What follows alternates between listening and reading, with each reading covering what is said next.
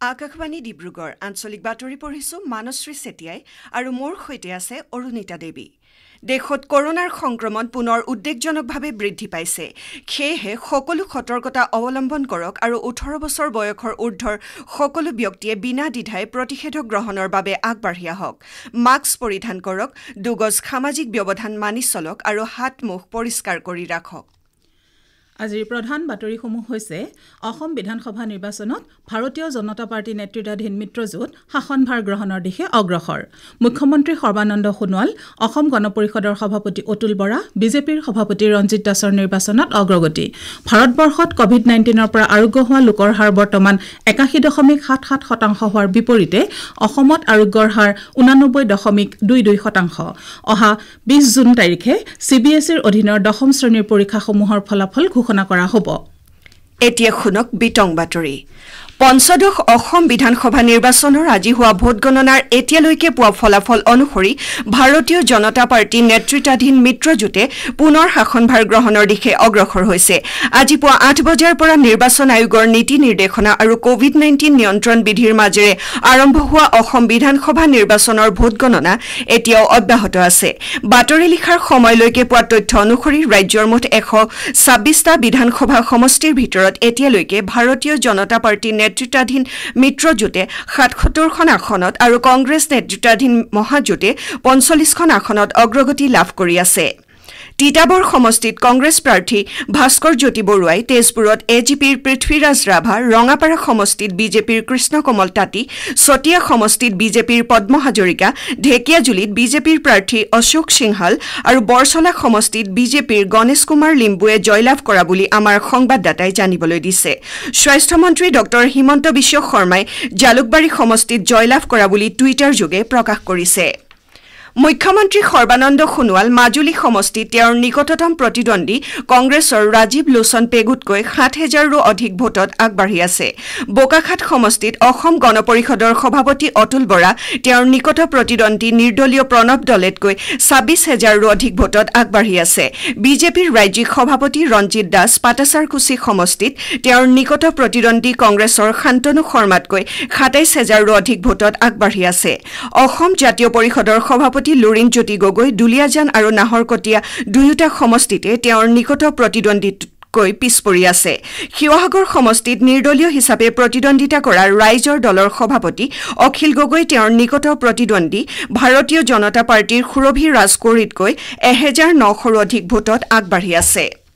গোলাঘাট সমষ্টিত ভাৰতীয় জনতা পাৰ্টীৰ অজন্তা নেওগ নাহৰকটীয়া সমষ্টিত বিজেপিৰ তৰংগ গগৈ দুলীয়াজান সমষ্টিত কংগ্ৰেছৰ ধ্ৰুৱজ্যোতি গগৈ তিনিচুকীয়া সমষ্টিত বিজেপিৰ সঞ্জয় কিষাণ ডিব্ৰুগড় সমষ্টিত বিজেপিৰ প্ৰশান্ত ফুকন লাহোৱাল সমষ্টিত বিজেপিৰ বিনোদ হাজৰিকা মৰাণ সমষ্টিত বিজেপিৰ চক্ৰধৰ গগৈ চাবুৱা সমষ্টিত অসম গণ পৰিষদৰ পোনাকন বৰুৱা যোৰহাট সমষ্টিত কংগ্ৰেছৰ ৰাণা গোস্বামী টিংখং সমষ্টিত বিজেপিৰ বিমল বৰা লখিমপুৰ সমষ্টিত বিজেপিৰ মানৱ ডেকা থাওৰা সমষ্টিত কংগ্ৰেছৰ সুশান্ত বুঢ়াগোহাঁই ডেৰগাঁও সমষ্টিত অসম গণ পৰিষদৰ ভৱেন্দ্ৰনাথ ভৰালী মৰিয়নী সমষ্টিত কংগ্ৰেছৰ ৰূপজ্যোতি কুৰ্মী আগবাঢ়ি আছে। গহপুৰ সমষ্টিত কংগ্ৰেছ নেতা ৰিপুণ বৰা তেওঁৰ নিকট প্ৰতিদ্বন্দ্বী ভাৰতীয় জনতা পাৰ্টীৰ উৎপল বৰাতকৈ সাত হেজাৰ পাঁচশৰো অধিক ভোটত পিছ পৰি আছে। অসম বিধানসভা নিৰ্বাচনৰ ভোটগণনাৰ উপৰিও আজি পশ্চিমবংগ তামিলনাডু কেৰালা আৰু কেন্দ্ৰীয় শাসিত অঞ্চল পুডুচেৰীৰ নিৰ্বাচনৰ ভোটগণনা কৰা হৈছে। বৰ্তমানলৈকে পোৱা তথ্য অনুসৰি পশ্চিমবংগত শাসনাধিষ্ঠিত তৃণমূল কংগ্ৰেছ আৰু কেৰালাত শাসনত থকা বাওঁ গণতান্ত্ৰিক মৰ্চাই পুনৰ শাসনভাৰ গ্ৰহণৰ দিশে অগ্ৰগতি লাভ কৰিছে। আনহাতে তামিলনাডুত ডি এম কে নেতৃত্বাধীন ইউ পি এ আৰু কেন্দ্ৰীয় শাসিত অঞ্চল পুডুচেৰীত এন আৰ কংগ্ৰেছ নেতৃত্বাধীন এন ডি এ অগ্ৰগতি লাভ কৰি আছে। ইফালে দেশৰ কভিড সংক্ৰমণৰ প্ৰতি লক্ষ্য ৰাখি দেশৰ নিৰ্বাচন আয়োগে ভোটগণনা চলি থকা ৰাজ্যসমূহৰ মুখ্য সচিবসকললৈ বিজয়ী দলসমূহে যাতে কোনো ধৰণৰ বিজয়ী শোভাযাত্ৰা বাহিৰ কৰিব নোৱাৰে তাৰ বাবে তাৎক্ষণিকভাৱে কঠোৰ ব্যৱস্থা গ্ৰহণ কৰিবলৈ নিৰ্দেশ দিছে। আঞ্চলিক বাতৰি শুনিছে আকাশবাণী ডিব্ৰুগড় কেন্দ্ৰৰ পৰা। দেশৰ বিভিন্ন ৰাজ্য আৰু কেন্দ্ৰীয় শাসিত অঞ্চলত দৈনিক কভিড নাইণ্টিনৰ দ্বাৰা সংক্ৰমিত ৰোগৰ সংখ্যা বৃদ্ধি পোৱাৰ পৰিপ্ৰেক্ষিতত দেশত সক্ৰিয় ৰোগীৰ সংখ্যা প্ৰতিদিনে বৃদ্ধি পাবলৈ ধৰিছে। ফলস্বৰূপে দেশৰ আৰোগ্য ৰোগীৰ হাৰ হ্ৰাস পাইছে। তথাপিও দেশত এদিনত এই ৰোগৰ দ্বাৰা আক্ৰান্ত হৈ তিনি লক্ষাধিক ৰোগীয়ে সম্পূৰ্ণ আৰোগ্য লাভ কৰি চিকিৎসালয়ৰ পৰা ওলাই গৈছে।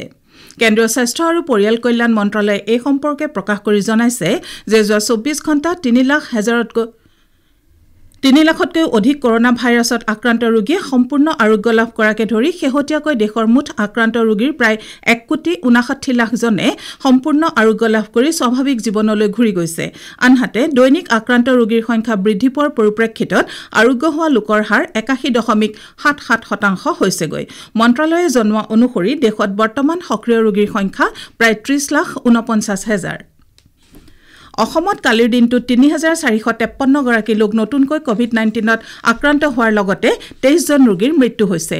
ইয়াৰ বিপৰীতে এই সময়ছোৱাত দুহেজাৰ দুশ ঊনত্ৰিছজন ব্যক্তিয়ে আৰোগ্য লাভ কৰাত সুস্থ লোকৰ মুঠ হাৰ ঊনানব্বৈ দশমিক দুই দুই শতাংশলৈ পৰিৱৰ্তন হৈছে।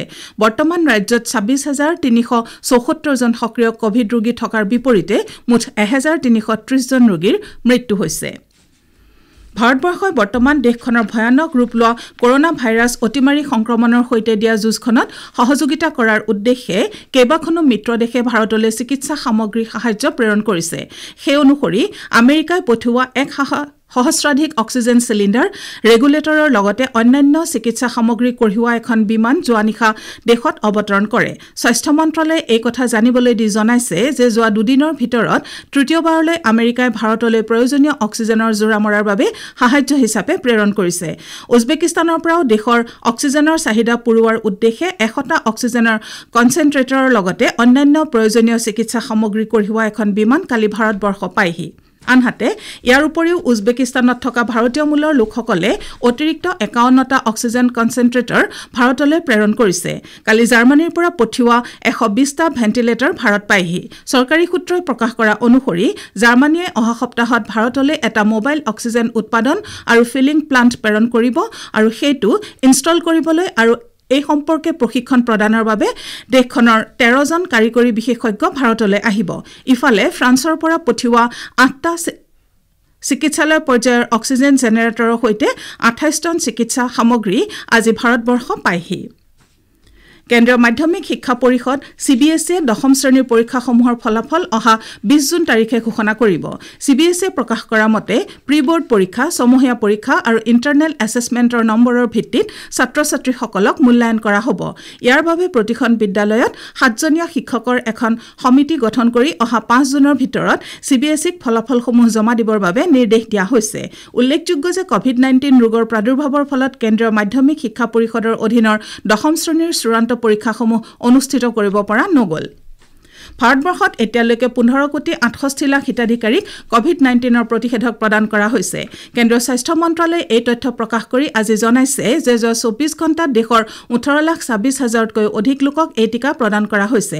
উল্লেখযোগ্য যে ভাৰতবৰ্ষত কভিড নাইণ্টিন প্ৰতিষেধক প্ৰদান অভিযানৰ তৃতীয় পৰ্যায়ত কালি দেশৰ এঘাৰখন ৰাজ্য আৰু কেন্দ্ৰীয় শাসিত অঞ্চলত ওঠৰৰ পৰা চৌৰাল্লিছ বছৰৰ ভিতৰৰ মুঠ ছয়াশী হাজাৰ বিছজন হিতাধিকাৰীক এই টীকা প্ৰদান কৰা হয়। বাতৰি শেষ হোৱাৰ আগতে আজিৰ মুখ্য বাতৰিসমূহ আকৌ এবাৰ পঢ়ি দিছো। অসম বিধানসভা নিৰ্বাচনত ভাৰতীয় জনতা পাৰ্টী নেতৃত্বাধীন মিত্ৰজোঁট শাসনভাৰ গ্ৰহণৰ দিশে অগ্ৰসৰ। মুখ্যমন্ত্ৰী সৰ্বানন্দ সোণোৱাল অসম গণ পৰিষদৰ সভাপতি অতুল বৰা বিজেপিৰ সভাপতি ৰঞ্জিত দাসৰ নিৰ্বাচনত অগ্ৰগতি। ভাৰতবৰ্ষত কভিড নাইণ্টিনৰ পৰা আৰোগ্য হোৱা লোকৰ হাৰ বৰ্তমান একাশী দশমিক সাত সাত শতাংশ হোৱাৰ বিপৰীতে অসমত আৰোগ্যৰ হাৰ ঊনানব্বৈ দশমিক দুই দুই শতাংশ। অহা বিছ জুন তাৰিখে চি বি এছ ইৰ অধীনৰ দশম শ্ৰেণীৰ পৰীক্ষাসমূহৰ ফলাফল ঘোষণা কৰা হ'ব। আজিৰ আঞ্চলিক বাতৰি ইমানেই।